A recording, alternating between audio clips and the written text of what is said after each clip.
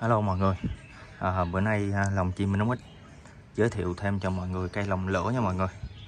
Trong hình mọi người thấy đây là lồng chè lửa. Cái form này là form 84 84 này Đường kính nó 52 Và chiều cao cả chân lên tới phần nóc của lồng không tính trao Là 68 à, Form này nói chung là cũng à, vừa phải Nuôi được đuôi tầm cỡ chừng à, 20 à, thậm chí 22 thì nó hơi chật chút xíu nhưng mà cũng vừa luôn nha mọi người. À, khá là đẹp luôn.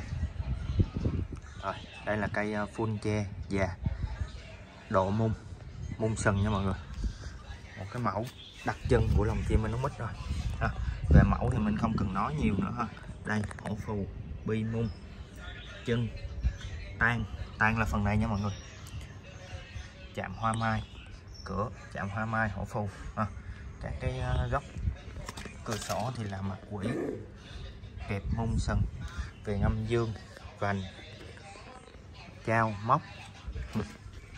Đây, đây là phần trao mình lấy rồi đây ha. Bộ trao mắt trúc nạm mông sân đây là bánh tiêu. Mông sân các cái vanh đi vanh trúc thì full che da độ gỗ mông sân mẫu rất là đẹp và rất là đặc trưng của lồng chim ống mít. Thì à, hàng đang có sẵn tại à, lồng chim Minh mít. Mọi người cần cứ nhắn trực tiếp cho mình, ha. website là minh nóng mít.com fanpage là lồng chim Minh mít. Rồi à, bữa nay mọi người có thể nhắn qua zalo đi, mọi người.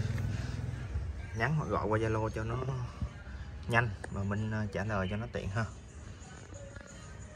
Đây đây là bộ bờ này là full môn sừng nha mọi người nền hoa mai mặt hổ. Rất là đẹp. Đây là một trong ba mặt chân. Rất là đẹp ha. Và hàng đang có sẵn tại lòng chim minh mít mọi người cần cứ nhắn cho mình nha. Website minh mít com fanpage lòng chim minh mít rồi, xin cảm ơn và hẹn gặp lại.